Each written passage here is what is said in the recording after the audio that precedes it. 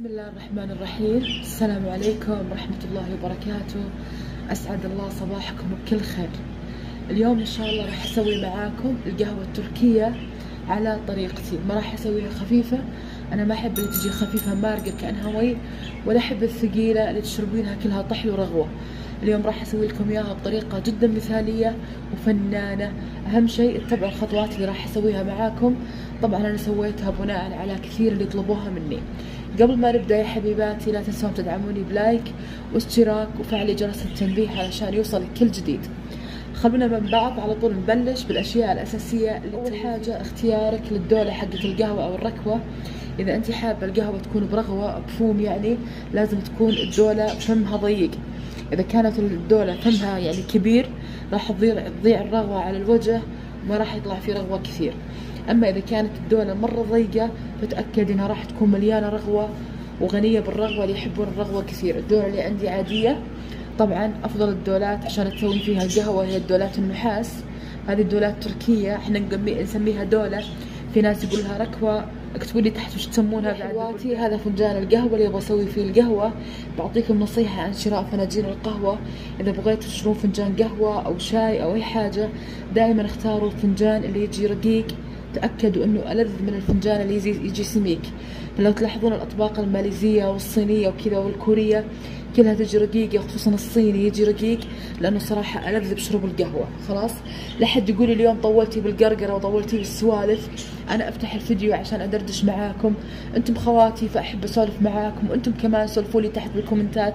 أحب دائما أقرأ كلامكم. تعالوا يلا الحين نعبي الفنجان هذا. أهم حاجة إذا تبغين الفنجان بقهوة برغوة عفوا عبيه مية باردة. الحين أنا عبيت الفنجان مية تمام؟ أحطه داخل. الدولة. بعد كذا راح أجيب البن حقي. خلاص. فيك تستخدمين أي نوع بن أنت تبغينه أي نوع بن أنت حابتيه. أنا راح أستخدم عندي هنا بن الحسيب. خلاص. في برضو كمان الحموي. الحموي لذيذ. في الرفاعي في باجة في بن بن بن عوف. أتوقع اسمه كمان لذيذ. عرفتكم إياه بالإنستغرام. وانستغرامي طلع على الشاشة عندكم الحين يا بنات. الحين لكل فنجان قهوة لكل فنجان قهوة ملعقة قهوة صغيرة ما تكون مليانة. خلاص؟ شايفين بالصورة هذه؟ تحطين ملعقة واحدة بس فقط لا غير. الحين تحركينها بس مو تحريك سريع يا دوبك بس اللي تذوب القهوة. خلاص؟ خلاص كذا تمام. شوفوا كيف بس حركت خفيف كذا. خلاص بس ذابت القهوة الحين نروح نحطها مع بعض وين؟ على النار. الحين بجيب القهوة وبحطها. خلاص.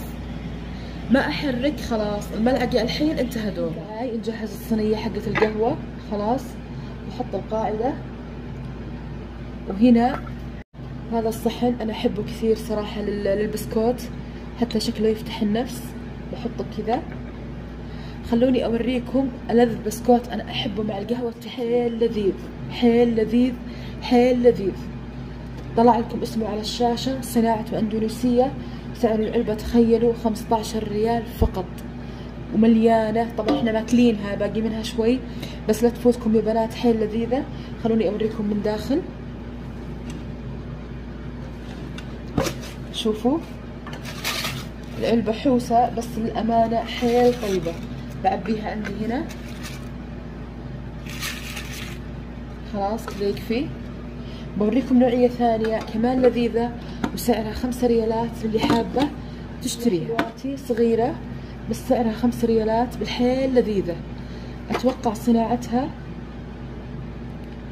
كله بالإنجليزي. ماليزيا. صناعتها ماليزية هذه. أما اللي وريتكم إياها مش وين أندونيسية فيا بنات خذوا الأندونيسي ألذ وحتى هذا لذيذ بخمس ريالات بس خلاص؟ الحين بحط فنجان القهوة خلاص؟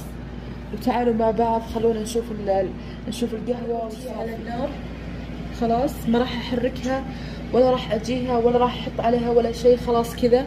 في حاجة نسيتها يا بنات اللي حابة أنها تسكر يعني تحط سكر على القهوة ما في مشكلة.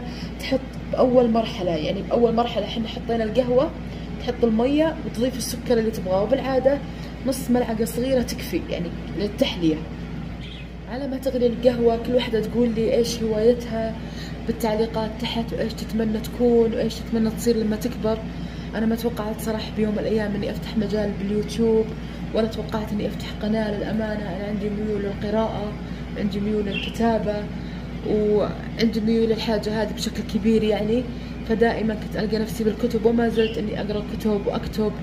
فحاجة حلوة يوم فكرت فيها إني أدخل مجال اليوتيوب ويصير عندي أشياء إنه أنا أقدمها. فاكتبوا لي أنتم وش تحبون وش تتمنون يعني. الحين القهوة بدأت تغلي عندي. خلاص. آه أول ما بدأت تغلي وقلبت قلبة واحدة خلاص بطفيها وبشيلها عن النار. تعالوا معاي. خلونا نصب القهوة. ونشوف كيف صارت. زي ما قلت لكم أنا ما أحب الثقيلة. أحب اللي بين الخفيف والثقيل. خلاص. هذه طريقتي يا بنات بالقهوة.